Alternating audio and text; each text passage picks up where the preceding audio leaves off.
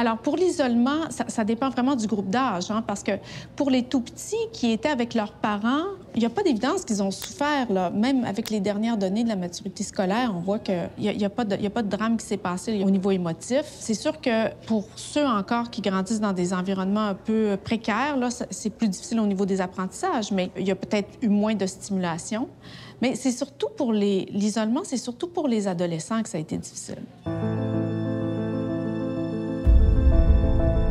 Dans le contexte de la pandémie, on l'a bien vu, euh, les enjeux de santé mentale ont été euh, exacerbés chez plusieurs personnes. Et ces enjeux-là ne ben, sont pas étrangers au fait que les gens n'étaient pas outillés pour composer avec euh, cette situation-là.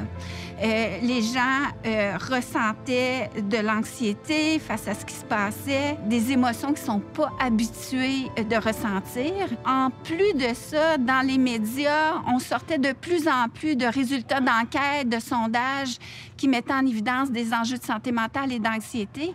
Fait qu'on est venu aussi en parallèle à démoniser un peu tout ça et le fait que les gens n'ont euh, pas appris pendant leur cursus scolaire à comprendre le stress, l'anxiété, qu'on en a besoin, puis qu'il y a des outils pour euh, composer avec ça, ben ça ne fait que exacerber euh, ces enjeux-là pendant la pandémie.